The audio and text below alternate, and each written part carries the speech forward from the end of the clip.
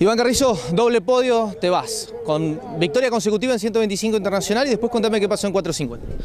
Sí, la verdad, déjame volver un ratito a la 125 que estuvo muy, muy cansadora la final. No muy cansadora, muy buena porque muy peleada, como te digo, muy buenos pilotos, como dije la carrera anterior, muy peleada. Eh, sí, se dio de nuevo, gracias a Guzmán que sigue trabajando. Eh, gracias a toda la gente que sigue trabajando para eso, así que dejamos agradecerle a Guzmán y pudimos, una vez que tomamos la punta, pudimos no soltarla, así que muy lindo y, y aproveché el tiempo de la bandera y todo para descansar, para subir al 450. Volviendo al tema de 125, ¿cómo fue esa maniobra con Juan? Había que superarlo, estaba, estaba duro. Sí, estaba muy, como dije anteriormente, muy parejo, fue... Fue, no, no, no, podía estirar tanto el frenaje porque me pasaba de largo, me hacía una tijera, me volvía a pasar, íbamos a quedar en la misma, tenía que ser una maniobra eh, decidida y que quedarme con el primer puesto. Y bueno, no fue, no fue una maniobra tan...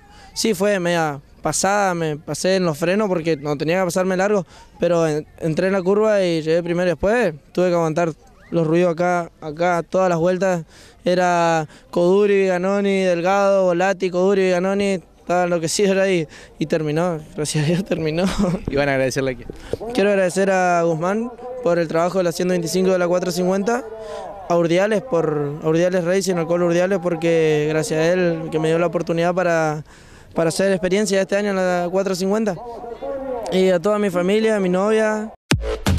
¿En el 125 internacional? Y en el, bueno, en el 125 hice una, linda largada, me mantuve ahí en el tercer lugar, donde hice, hice una maniobra bastante linda por afuera, pero no, no me permitió poder llegar al primer lugar y bueno, me, traje un segundo puesto que en el campeonato me ubica segundo ahora, eh, con buenos puntos y bueno, me volví a subir al podio, gracias a Dios, y a seguir pensando en el campeonato y en lo que viene ahora que es Ford.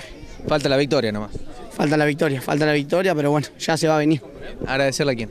Déjame agradecerle a mis sponsors, eh, son bastantes, pero acordarme de todo. Eh, Majuma Moto, eh, Nan, R Rescape, eh, Cabaña del Río Uruguay, JJ Repuesto, a Evolution Distribuidora, bueno, Bicicletería Paco, Gomería El Pelusa, Gomería El Pelado, a MX Hook, eh, bueno, todo el team Reversea, el team Urdiales Racing, Bell Sport y Sarabia Racing.